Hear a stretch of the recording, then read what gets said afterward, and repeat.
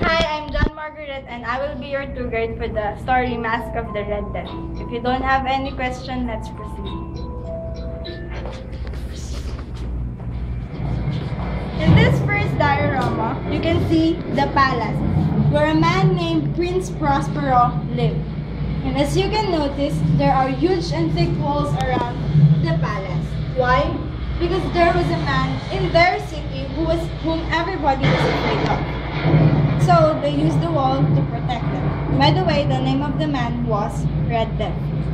But despite of all the rumors about Red Death, Prince Prospero invited thousands of his friends to attend his masquerade ball.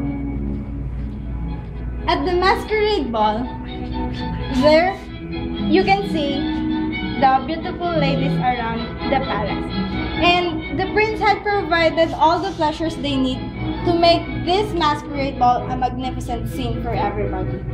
Prince had provided all the securities, but they don't know that somebody will arrive and will scare them. But first, before I tell you about Red Death, let me first tell you about the seven rooms inside the palace.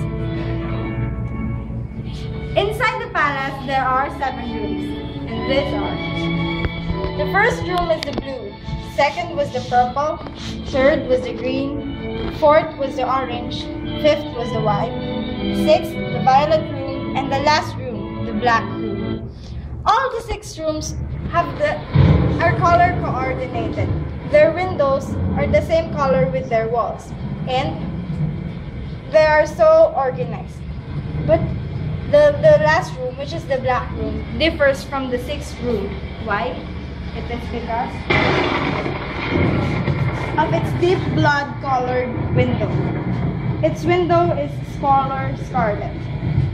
And also in this room, there you can see the big clock, which is called the gigantic clock of ebony.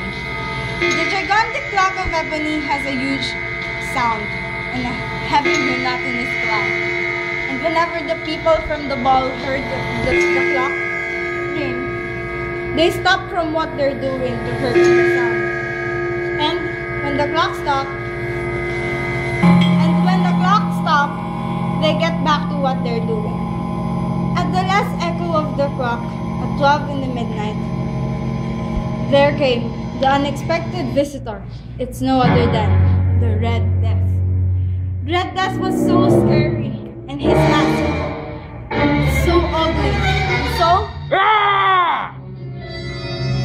people from the ball were so scared of him, and the prince saw him and told them, "Who dares? Who dares to insult us with this blasphemous mockery?" And he told his courtiers to follow and seize the masked figure, but they did not follow him. Instead, the Red Death came after Prince Prospero, and Prince Prospero ran through the six chambers, and Red Death followed him until they reached the Black Room.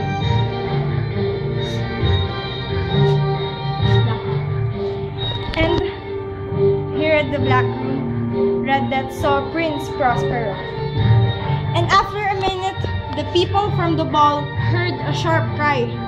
So, they went to the Black Room to check what happened. And then there, they saw the dead body of Prince Prospero. And the light of the ebony clock went out. And also, the flame on the tripod expired. And the Red Death, nobody knew where he went. And all that he left was his mask inside the black. And that's how the story ends. And now, we're gonna enter inside the black.